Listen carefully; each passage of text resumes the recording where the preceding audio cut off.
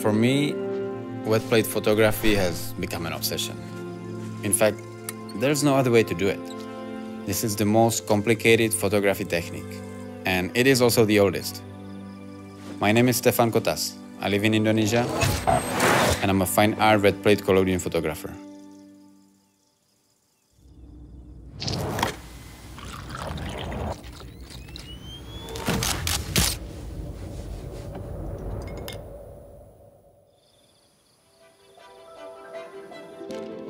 I've been shooting digital for more than 10 years and never really care much about the history of photography or old techniques.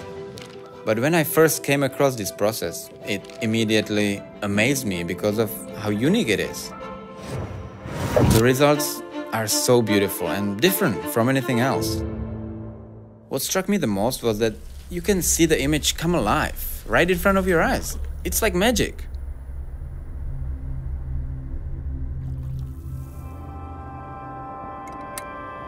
Wet plate collodion process is a historical technique. It comes from 1850s, from the very beginning of photography. It's a full-on chemical process where the reaction of light and silver creates a physical image.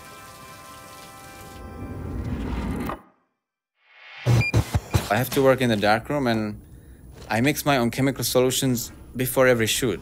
And that's the hardest part. And that's also the reason why no one really does this in tropics.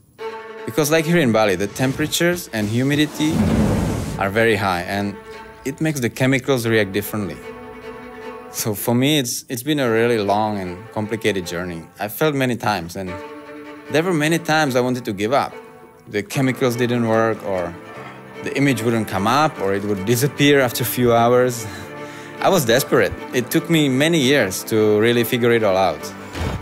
I had to learn chemistry and I had to remake the old formulas to match the climate here.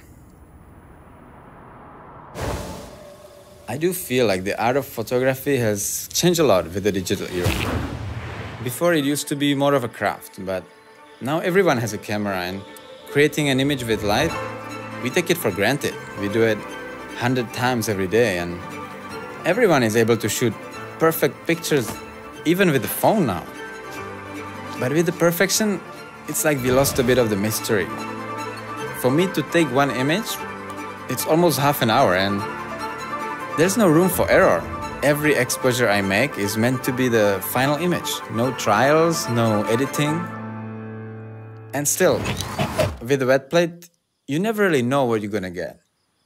Because unpredictability is a big part of the process. And that's what intrigues me and make it special because you never get a perfect image here. There's always some mistakes and chemical artifacts. Yeah, these are handmade images. With wet plate photography, I feel like I find my true calling as an artist. It really is a lifelong journey, and I'm still just at the beginning, but getting a successful tintype, for me, is much more rewarding than making a digital image on a computer screen. My next projects will be focused on documenting Indonesian culture. I love Indonesia. This country is so rich with many different ethnic groups, beautiful faces, and traditional costumes.